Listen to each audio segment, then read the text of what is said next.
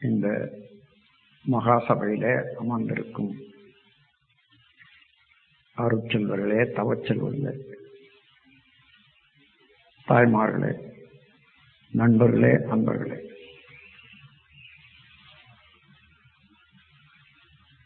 இது ஒரு ஆக்க வாழ்வுக்கு ஒரு நல்ல திருப்பமான ஒரு நேரம்.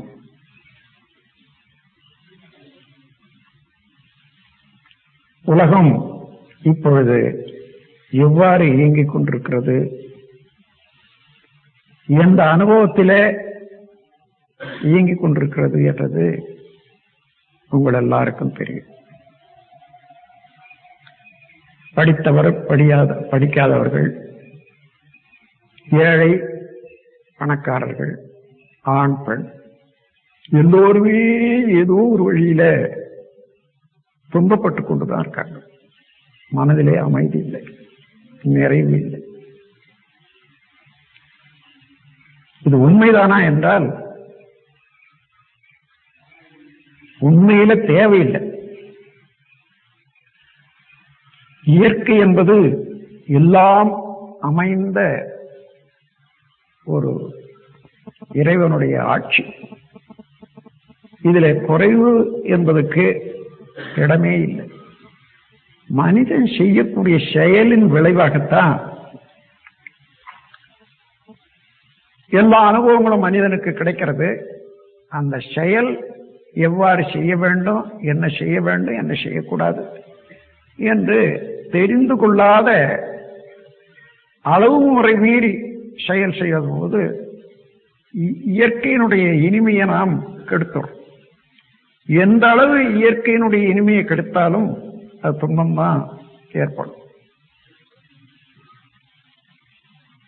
இப்போ அதிக விரிவாக இல்லாம உங்களுக்கு மௌனத்தை பற்றி அதனுடைய சிறப்பு பற்றி சில வார்த்தைகளை நான் சொல்றேன். அடக்கம் அமர் அருள் வைக்கும் என்பது வள்ளுவ பெருமானுடைய திருவாக்கு. அடக்கம்னா என்ன? இந்த கையை கால இது பண்ணிட்டு சும்மா உட்கார்ந்து இருக்கிறது அடக்கம் அல்ல. அதற்கு நமது பெரியோர்கள் பிரணவம் என்ற ஒரு சொல்லை சொல்லி அதனுடைய விளக்கமும் கொடுத்திருக்காங்க.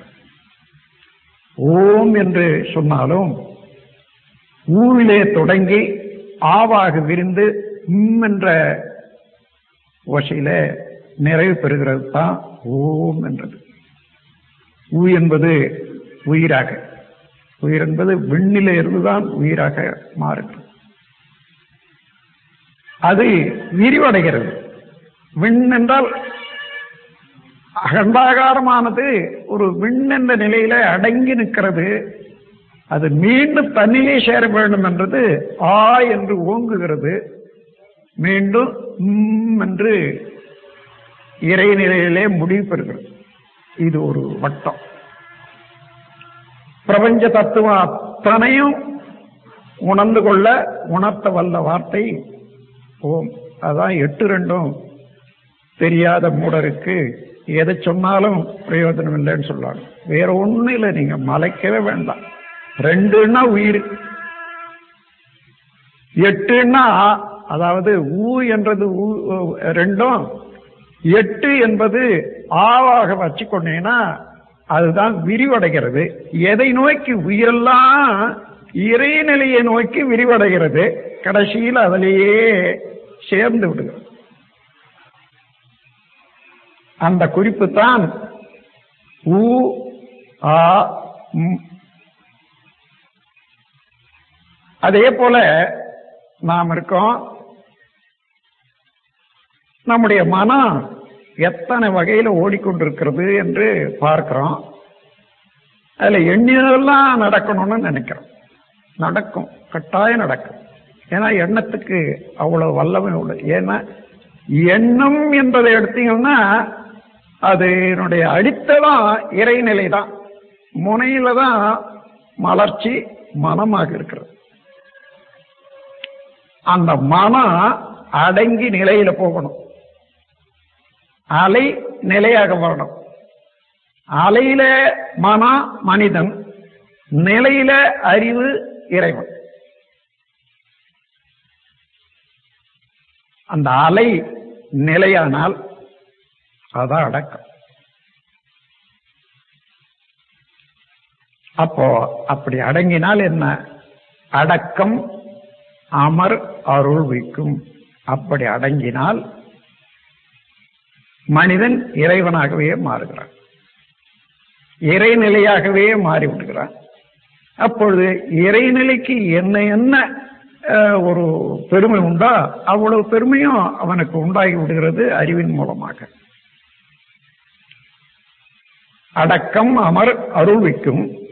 அப்படி அடங்காமை அப்படி அடங்கல. தன்முனை. பொருள்பற்று அதிகாரப்பற்று. அதன் பிறகு அதிலிருந்து காம குரோத லோக மோகம் மதம் ஆச்சரியம் ஆறு குணங்கள் பஞ்ச பாதகங்கள். இவ்வளவும் விளையும் அல்லவா? அடங்காமையில தான் இவைகளெல்லாம் விளையும். ஆறிருள் வித்து விடும் அதுதான் எல்லா துன்பங்களுக்கும் காரணமாக மனிதனை அழித்து விடும் என்பது. அப்போ அடங்குவதற்கு நாம் பழகினால ஒழிய உடனே அடங்கிட முடியாது. இறைவன் நம்ம அடக்கி கொள்றான் தூக்கத்துல.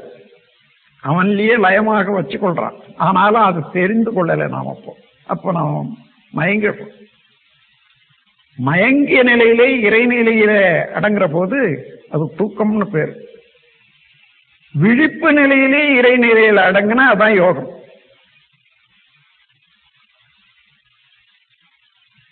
ஜாக்கிரதம் சொப்பனம் சுழுத்தி துரியாதீதம் என்று சொல்லுவாங்களே இதெல்லாம் நம்ம இந்த துரியாதீத தவத்தில் கொடுக்குறோம். ஜாக்கிரம்னா புலன்கள் மூலமாக வெளியில திரிகிற போது அது சாக்கிரம்.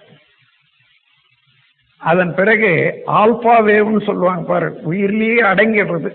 மனம் ஒரு காட்சியாகவோ குணமாக ஆகாத போது அது வந்து சுழு சுழுத்தி சொப்பனம். அதற்கு மேல இன்னும் ஆழ்ந்து போனா துரியம். அப்புறம் துரியாது. இறைய நிலையோட அடங்குற போது இதெல்லாம் நம்ம தவத்துல வருது அப்படி அடங்க அடங்க என்ன? அலையும் போது ஒரு எல்லை கட்டிய உணர்வு ஒரு இன்ப துன்ப உணர்வு வேட்பு இது வேணும் அது வேணும் இது வேணும் அது வேணும். ஆனால் நிலையில என்ன வேண்டும் என்று நினைச்சோமோ அதை முடித்துக் கொள்ளக்கூடிய ஆற்றலும் முடிந்த பிறகு ஒரு நிறைவு ஏற்படக்கூடிய தன்மையும் உண்டா அலைவதில் மாத்திரம் இருந்தால் அலையில மாத்திரம் இருந்தா எத்தனை தான் அனுபவிச்சாலும் நிறைவு என்பது உண்டாகும் அதனால நிலைக்கு வந்த பிறகுதான் நிறைவு உண்டாகும். அப்படி நிலைக்கு வரும்போது இந்த பேரியக்க மண்டலத்தில் இதுவரையில் ஏற்பட்ட நிகழ்ச்சிகள் எல்லாம் வான்காந்தத்தில் பதிவாக இருக்கிறது எப்படி நம்ம உடல்ல நாம் பிறந்ததிலிருந்து இன்று வரையில நடந்த நிகழ்ச்சிகள் எல்லாம் உடலுக்குள்ளாக உள்ள ஜீவகாந்தத்துல பதிவாகி அவ்வப்போது அதுல இருந்து எழக்கூடிய அலை மூளையில தாக்கும் போது அது எப்படி மேக்னிஃபை பண்ணி நமக்கு எண்ணங்களாக காட்சிகளாக வந்து கொண்டே இருக்குது பார்க்குறோம் பாரு அதே போல பேரியக்க மண்டலத்திலையும் இதுவரைக்கும் நடந்த நிகழ்ச்சிகள் அத்தனையுமே அது இருப்பாக அதாவது பதிவு என்று சொன்னாலே பிரஷர் அழுத்தத்தினாலே ஏற்பட்ட விளைவுதான் பதிவு. அந்த அழுத்தம் என்பதோ காந்த சக்தியினுடைய ஆற்றல் தான் பிரஷர் என்றதே காந்தத்தினுடைய ஆற்றல் தான் அப்போ அந்த காந்தத்தில் அடங்கிய தன்மையும் அழுத்தம் ஒளி ஒலி சுவை மனம் மனம். ஜீவன்கள் இடத்துல எப்பொழுதுமே அந்த காந்த சக்தி இத்தனை மாற்றங்கள் அடைந்து கொண்டிருக்கிற போது அதையெல்லாம் உணர்ந்து கொண்ட உணர்ந்து கொண்டே இன்ப துன்பம் அனுபவிக்கிறது மனம். அந்த உணர்ந்து கொள்ளும் போது அழுத்தம் ஒளி ஒளி சுகமான இவை தான் உணரும். அதனால ஏற்படக்கூடிய விளைவுகளை தான் இன்பமா துன்பமா அமைதியா பேரின்பமா உணரும். அப்பொழுது அவ்வளவு மாற்றமாகி கடைசியில் அதை உணர்ந்தும் கொள்ளக்கூடியது மனமாக இருக்கிறது. அந்த மனத்துக்கு அடித்தளம் அறிவு இருப்பு நிலை. எவ்வளவுக்கு எவ்வளவு அலையை குறைத்து கொண்டு இருப்பு நிலைக்கு வர்றோமோ அந்த அளவுக்கு நிலை பேரு அமைதி வெற்றி. அதோட அலையில நம்முடைய ஜீவகாந்த சக்தி செலவு பண்ணிட்டே இருக்கிறோம். ஆனால் நிலைக்கு வரும்போது சிறுக சிறுக சிறுக லயமாகி வரும்போது அந்த காந்த சக்தி கூடிக்கொண்டிருக்கு. அந்த கூடுதல்னால உடல்ல உள்ள எல்லா செல்களுக்கும் அணு அடுக்கு சரியாக இருக்கிற போது உடல் நலம் உண்டாகும் மனவளம் உண்டாகும். இன்னும் நீங்க என்ன எண்ணணுமோ அதை எண்ணவும் என்ன எண்ணினங்களோ அதை செய்யவும் ஏற்ற ஒரு கோஆர்டினேஷன் இதெல்லாம் உங்க அனுபவத்திலேயே நீங்க தெரிந்து கொள்ள வேண்டியதுதான். இதை இன்னும் வரப்போற நூல்கள்ல இன்னும் விரிவாக எழுதுறேன். ஆகவே இந்த அலையிலிருந்து நிலைக்கு வருவதற்கு ஒரு பயிற்சி வேணும். அந்த பயிற்சி இப்ப தவமாக நாம் இருந்தாலும் இந்த மௌனத்தை பற்றி இந்த இடத்துல நினைவுபடுத்திக் கொள்ளுங்க பேசுறதுக்கு பொருள் வேண்டியதே இல்லை. அதுக்கு ஏதாவது விஷயம் வேணுமானா தேவையே இல்லை. பேசிக்கொண்டே இருக்கலாம். ஏன்னா சூழ்நிலையில புலன்களுக்கு கவர்ச்சி இருக்குது அது பாட்டுக்கு அதை வச்சுக்கிட்டே பேசிக்கிட்டே போகலாம் அல்லது பழக்கத்தினால பேசிக்கொண்டே இருக்கலாம். பேசுறதே பேசித்தானாவே வரும். அது இன்னொருத்தர் வர்றாங்க தூண்டி விடுறாங்க பேசிக்கொண்டே இருக்கலாம். அதனால அதுக்கு தனியா ஒன்று பேசுவதற்கு பொருளே தேவையில்லை. ஆனா பேசாம இருக்கிறதுக்கு ஒரு பொருள் தேவை. பொருள் இல்லாத பேசாம இருக்கவே முடியாது.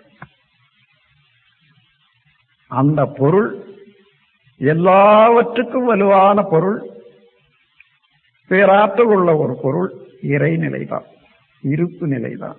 அது என்ன? சுத்த வெளி. ஒரு மரத்தை நினைந்தால் மரமாக காட்சியாக நாமே மாறி விடுகிறோம் அதில் கொஞ்ச நேரம் பொறுத்து என்ன பார்த்தோம்? மரம். இருக்கிறது. மரம் இல்லை மரத்தை பார்த்த போது மரமாக வடிவம் எடுத்துமே. அந்த வடிவம் நம்ம இடத்துல இதுவரைக்கும் எத்தனையோ அனுபவங்கள் வந்ததோட இந்த அனுபவம் கூடி போச்சு எங்கே கூடி போச்சு உடல்ல உள்ள ஜீவகாந்த சக்தியிலே கூடி போச்சு இந்த ஜீவகாந்த சக்தி என்ன? என்றதை பார்க்கிற போது எங்கேயும் சுத்த வெளி இல்லாத இருப்பு நிலை இல்லாத இடமே இல்லைன்றதை முதல்ல தெரிஞ்சு கொள்ளுங்க பிரபஞ்சம் முழுவதும். சுத்த வெளிதான் இருப்பு நிலை. அதனுடைய நுண்ணிய பகுதி தான் சக்தி என்றும் எனர்ஜி பார்ட்டிகள் என்றும் விண் என்றும் சொல்றோம். அந்த விண் தனியாக ஒரு பிரிவு ஏற்பட்ட போதே அதனுடைய சுற்றுப்புறம் உள்ள அழுத்தத்தினால சுழல ஆரம்பிக்கிறது. அப்போ இருப்பு நிலையே சுழற்சியில வர்ற போது அதுதான் விண் என்று வச்சுக்கொள்ளும் whirling motion fraction of static அதை எடுத்துக்கொண்டீங்கன்னா இந்த சுழற்சியில இருந்து ஒரு அலை மீண்டும் ஒரு அதாவது சுழல் அலைக்கும் விரிவலைக்கும் ஒரு வித்தியாசம் உண்டு. ஒரு கேண்டில் வச்சு பார்க்குறீங்க. அது ஒளியில ஒரு அழுத்தமான அளவு ஒரு ஒரு குறிப்பிட்ட அளவு ஒரு அரை இன்ச்சு இருக்கு. அது வரைக்கும் தான் அது ஒளின்னு விளக்குன்னு சொல்றோம். ஆனா அதை சுற்றிலும் உள்ள வெளி வெளிச்சம் இருக்குது பாருங்க. அந்த ஒளியினுடைய அலைய அது. இதே போலதான் சுழல் அலையும் விரிவலையும் சுழலலை என்பது இன்டென்சிஃபைடு வேவ் அது அவ்வளவு அழுத்தமா இருக்குது. அதுல அழுத்தம் ஒளி ஒளி சுவைமன இவைகள் எல்லாம் ரிஃப்ளெக்ட் ஆகும்.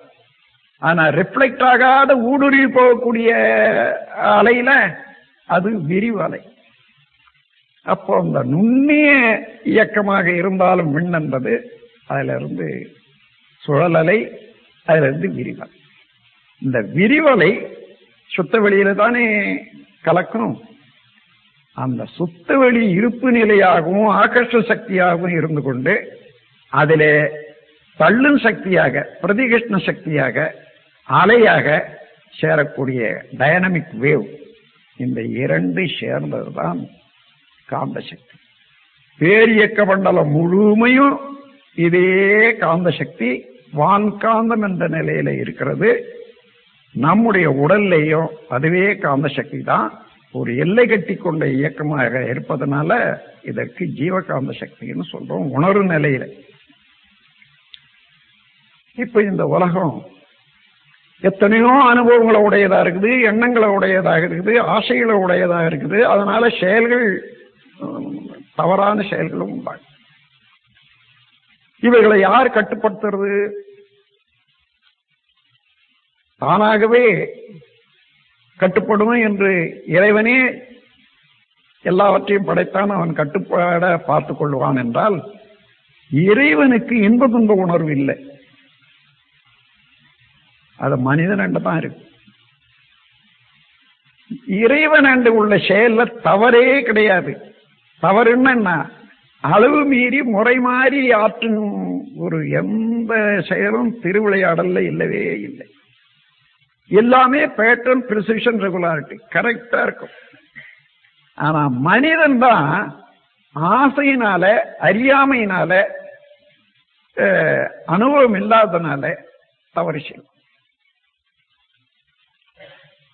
அது மனிதன் அந்த எப்படி வந்தது என்ன பார்த்தா மனித உருவத்துல உயர்ந்த அமைப்பு உயர்ந்த அறிவு பிரபஞ்சம் முழுவதும் விரிந்து அறியக்கூடிய அறிவு இருந்த போதிலும் கூட இவனுக்கு உள்ள வித்தமைப்பு சஞ்சித கர்மம் கருவமைப்பின் வழியே வந்த பதிவுகள் கோடான கோடி உயிரினங்கள்.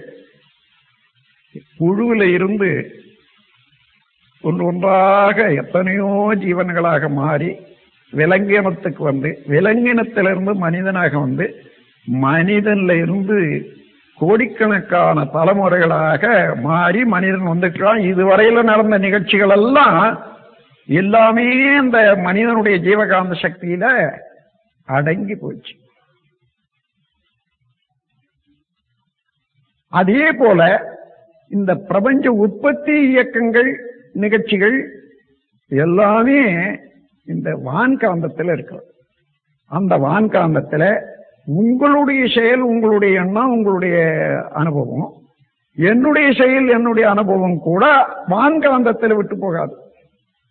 ஜீவகாந்தத்துல தனியாக இருந்தாலும் ஜீவகாந்தத்தோட விரும்பி மனிதன் அதாவது இங்க ஜீவன் விரும்பி ஒன்றை செய்து வெறுப்போடு ஒன்று செய்து அழுக்காரால ஒன்று செய்து ஆனா அது இல்லாத நடைபெறுது ஜீவனை தவிர்த்து அங்க உள்ள இறையருளும் திருவருளும். அப்படி நடந்து வர நிகழ்ச்சியில இயற்கையினுடைய ஒரு ஆற்றலை மனிதன் தவறாக பயன்படுத்திக் கொண்டு இதுவரையில் செய்த செயல் பதிவு பழக்கத்தினாலே பழக்கத்தினாலே சில காரியங்களை செய்யறான். தேவையின் உந்துதல்னாலே சில காரியத்தை செய்யறான். பாதுகாப்புக்காக சில காரியங்களை செய்யறான். அதனால ஒவ்வொரு காலத்துல ஒண்ணு செய்து அதை பழகிட்ட பிறகு அதையே தொடர்ந்து செய்யறான். அதை பார்த்து இன்னொரு செய்யறான். இப்படி இன்னைக்கு உலகம் குழப்பத்துல வந்து. இந்த குழப்பத்தில் இருந்து மனிதகுல மனதை இறைநிலை உணர்வுக்கு ஒன்றுபடுத்தக்கூடிய அறிவுக்கு கொண்டு வரணும்னு சொன்னா அது ஜீவகாமம் வான்காமம் சேர்ந்து செயல்பட்டு சிறுக சிறுக சிறுக இந்த அலைகளை எல்லாம் ஒரு புனிதமான வைப்ரேஷனாக அலையாக நுண்ணிய அலைக்கு கொண்டு வந்து அதிலே இருந்து இந்த செய்திய இப்படித்தான் வாழணும். இதுதான் இறைநிலை இதுதான் அறநெறி இங்கேதான் இன்பம் இருக்கிறது இதுதான் நம்முடைய வாழ்க்கை நெறி என்று உணர்ந்தவர்கள் மற்றவர்களுக்கு உணர்த்தும் போக்குல அதே எண்ணத்தை அலையாக பரப்புற போது அந்த நிலையில உயர்ந்தவர்களுக்கெல்லாம் உடனடியாக தெளிந்துவிடும். என்ன?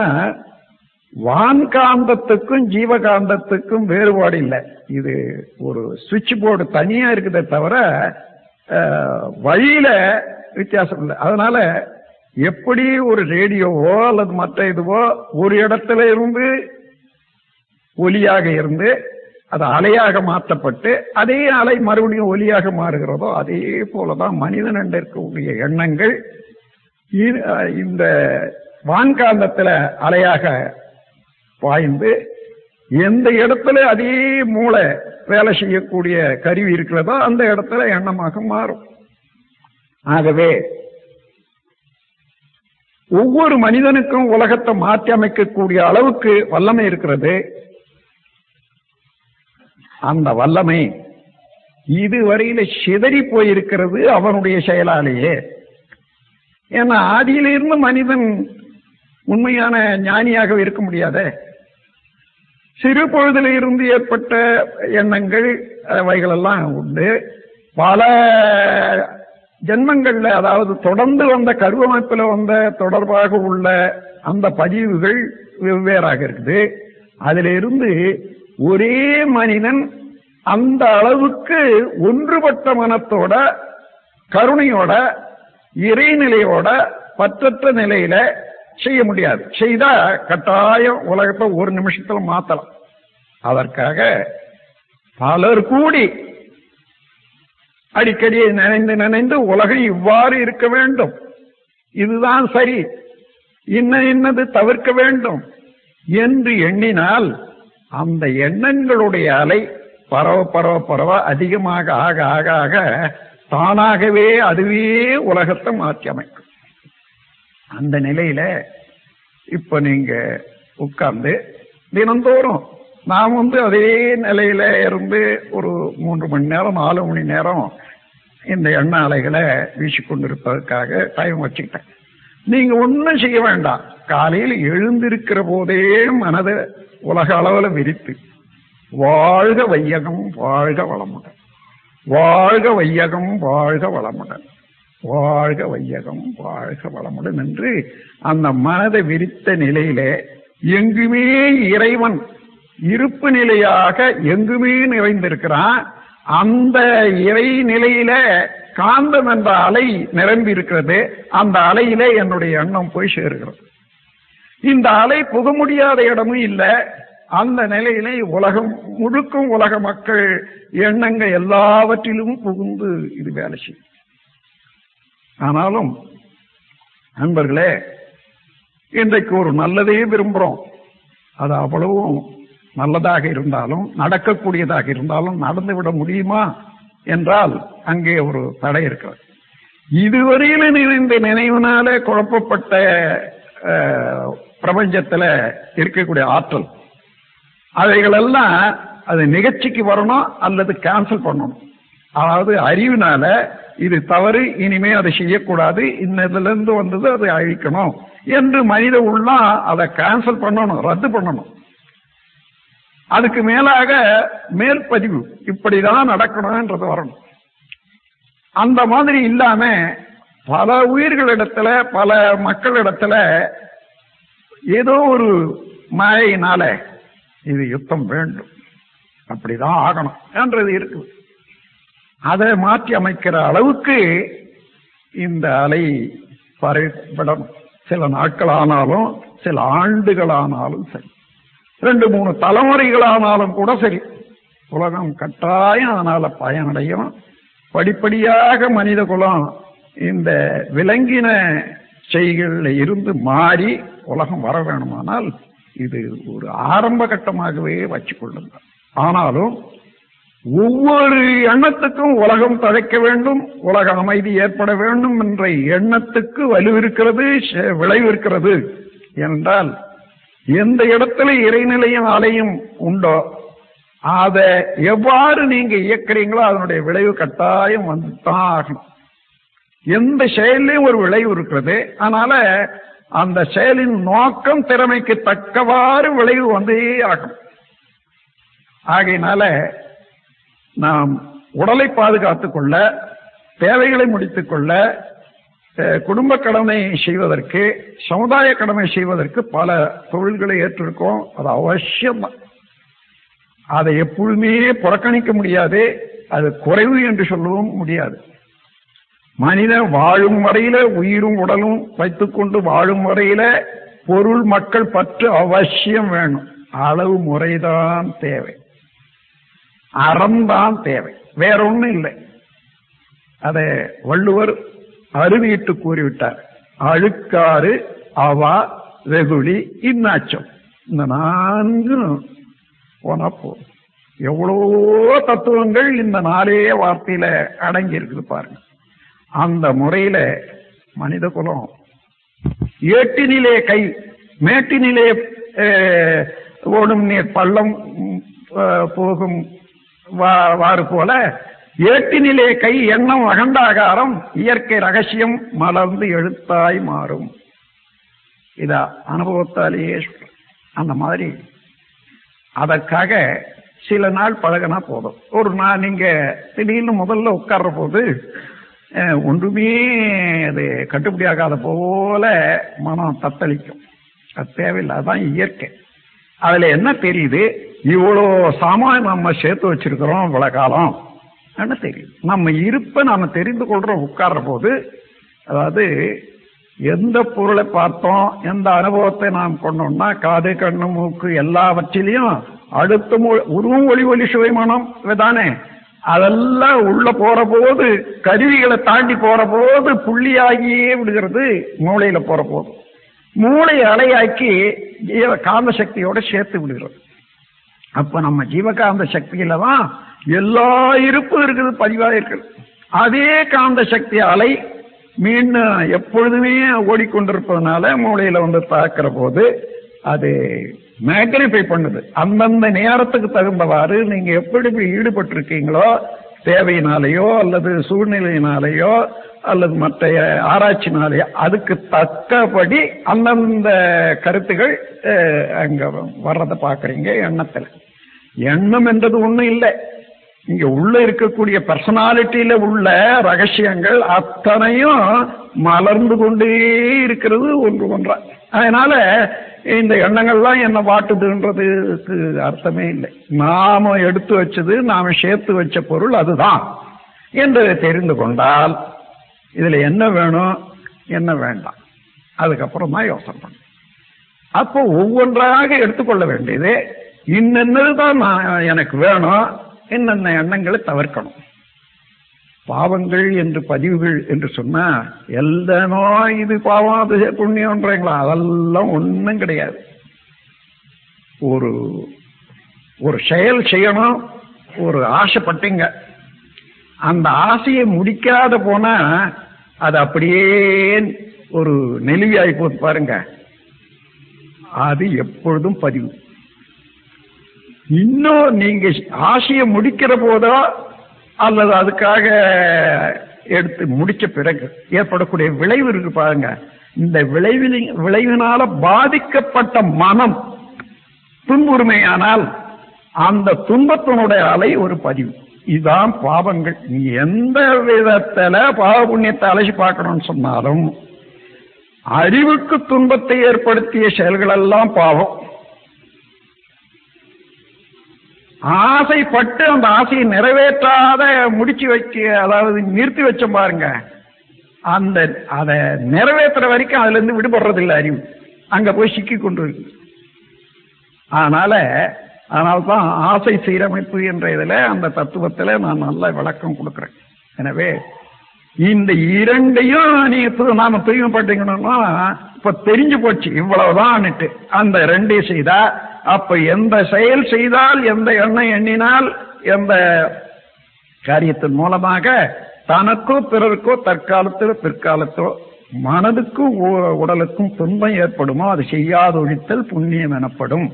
என்றதுதான் சூத்திரம் கொடுத்துருக்கேன் அதனால அந்த மாதிரியில அது- அது அப்போ அதுக்கு எதிர்ப்பா ஒரு ஜீவன் படக்கூடிய துன்பத்தை போக்கணும்ன்ற எண்ணம் வந்துட்டாலே சரி. மனம் விரிஞ்சு போச்சு.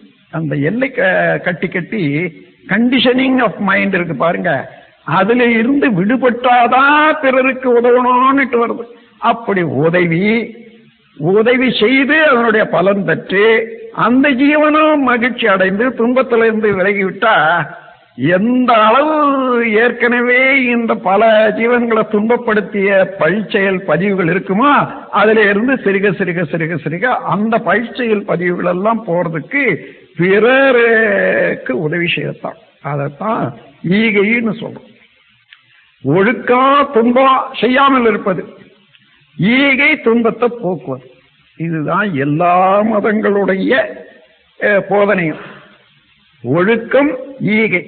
கடமை என்பது இந்த உடல்ல நாம் பிரபஞ்சத்தில் பிரபஞ்சத்துல அதாவது மக்களிடத்துல இருந்து என்னென்ன நன்மையை பெற்றுக் கொண்டிருக்குமோ அதுக்கு பதிலாக நாமும் அந்த நன்மையை செய்யணும் என்ற போது செயல் குறிப்பது எனவே இந்த முறையில நம்ம உயர்த்திக் கொள்வது சிந்தனையை உயர்த்தி சிவத்தோடு சேர்க்கிற போது அப்போதான் இறைநிலையிலேயே இந்த பிரபஞ்சத்திலேயே அடங்கியுள்ள எப்படி நாம் அப்படி யோசனை பண்ணா நம்ம உள்ளத்துல இங்க பதிஞ்ச பதிவுகள் எல்லாம் எடுத்து காட்டுதோ அதே போல இன்னும் தாண்டி இறைநிலையோட கலந்து போற போது பேரியக்க மண்டலத்துல உள்ள எல்லா ரகசியங்களையும் டிவி ஷோ மாதிரி பார்க்கலாம்.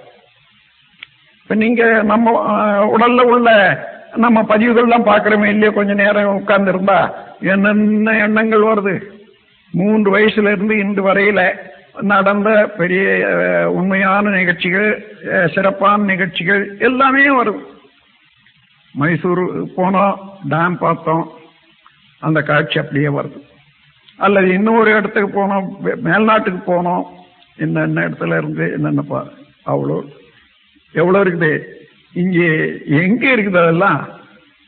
ஜீவகாந்த சக்தி எவ்வளவு பெரிய பிரபஞ்சமே ஆனாலும் அதுல வந்து அந்த அலையாக மாறி அதுல கலந்து விடுகிறது கேரக்டரைஸ்ட் அதுதான். பர்சனாலிட்டி என்பது என்ன? உங்களுடைய ஜீவகாந்த சக்தின்னு வச்சுக்கோங்க. அப்போ இறைநிலை என்பது என்னன்னா வான்காந்தம்னு வச்சுக்கோங்க. அந்த வான்காந்தத்தை அடிப்படையாக உள்ள இருப்பு நிலை இறைவன் அலை வந்து இறைவனுடைய ஆற்றல்.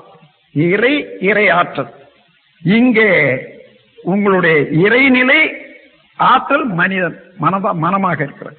இதுதான் ஜீவகாந்தத்துக்கும் வான்காந்தத்துக்கும் ஆகவே மனிதன் இதை உணர்ந்து கொண்டால் அவனுடைய ஆற்றலை நேர்மையாக செயல்பட ஆரம்பிச்சான்னா ஒரு மனிதன் ஒரு ரெண்டு மணி நேரம் இந்த காலத்துல உழைச்ச போதும் எல்லா மக்களும் ரெண்டு மணி நேரம் உழைப்பு தந்தா உலகத்துக்கு வேண்டி எல்லா பொருளும் மிச்சமாக இருக்கும். அழிக்க வேண்டியதே இல்லை. மனிதன் பேர்ல வெறுப்பு வைக்கிற போதுதான் முரண்பாடாக செயல்படுற போதுதான் துன்பமும் வருது. இந்த துன்பத்தில இருந்து மனித குலத்தை விடுவிக்க வேணுமானால் மனித மனம் வளம் பெற வேண்டும். அந்த வளம் பெற பெறுவதற்கு இறைநிலையோடு அழுந்தி அழுந்தி அழுந்தி அழுந்தி அடங்க வேண்டும். அடக்கம். அமர் அருள் உய்க்கும் அப்படி அடங்காமை ஆறிருள் உய்த்துவிடும் அந்த ஆறிருள் என்பது அழுக்காறு அவா வெகுளி இன்னாச்சொல். அதே போல ஆறு குணங்கள். பேராசை சினங் கடும்பற்று முறையற்ற பால் கவர்ச்சி உயர்தாழ் மனப்பான்மை வஞ்சம். ஆகவே இவைகளில் இருந்து இவைகளெல்லாம் மனிதனுக்கு தேவைதானா தேவையே இல்லை. எல்லாம் சொல்லலாம் அது மனிதனுடைய இயற்கை. இல்லவே இல்லை. சாதாரணமான உயிரினங்கள்ல அதாவது ரெண்டறிவுல இருந்து அஞ்சறிவு வரையில வாழ்ந்த உயிரினங்களுக்கு அது ஒன்று ஒன்று பிடிச்சு சாப்பிடணும் என்றது இயற்கையாக இருப்பதனால அவ்வப்போது அது பறித்து உண்ணுதல் என்ற ஒரு நோக்கத்துல அதை அட்டாக் பண்ணும்போது ஒன்று ஒன்று அடிக்கிற போது அங்கேதான் கோபம் உண்டாச்சு அங்கதான் எல்லா குணங்களும் உண்டாச்சு.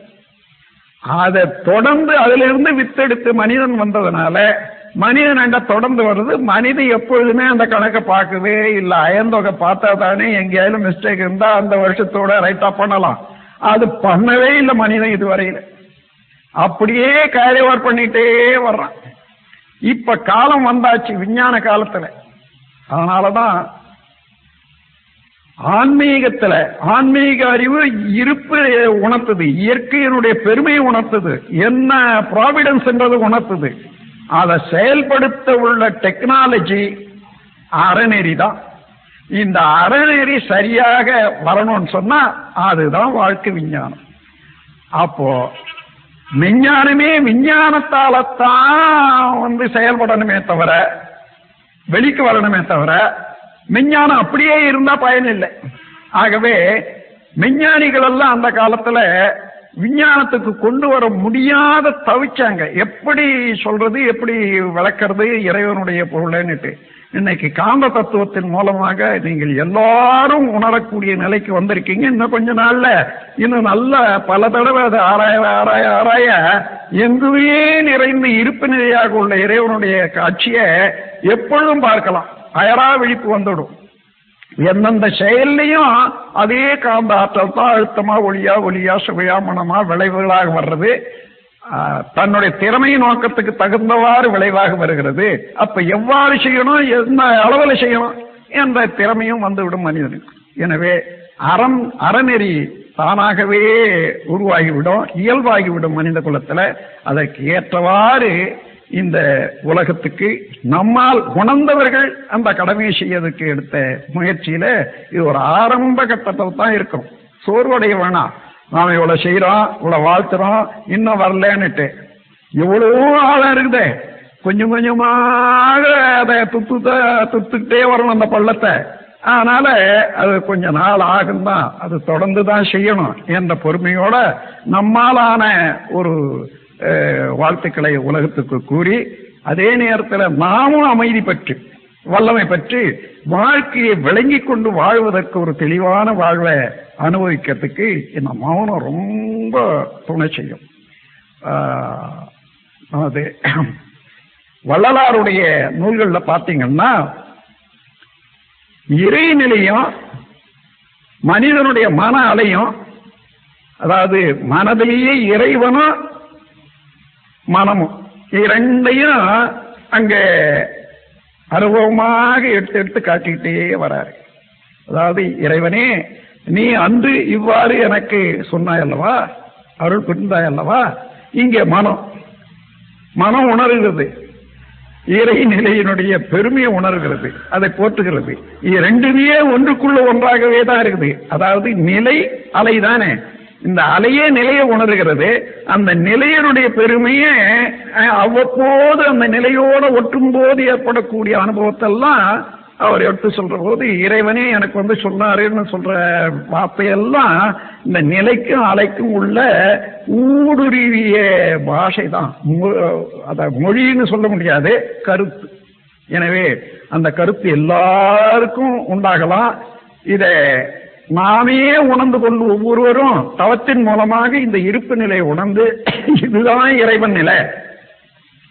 அந்த இறைநிலையே தான் சுத்த வழியாக அருவமாக இருக்கிறது. அதுவேதான் இங்கே உயிர் மையத்திலே இருந்து கொண்டு அறிவாக அதே இருப்பு நிலை தான் அறிவாக இருக்கிறது என்று தெரிந்து கொண்டால் அதுதான் ரெவலேஷன் தானே உணர்ந்து கொண்ட அதை உணர்ந்து கொண்ட போது பிரபஞ்சத்தினுடைய ரகசியங்கள் எல்லாமே வருது. அது ரெவலேஷன் பேரு.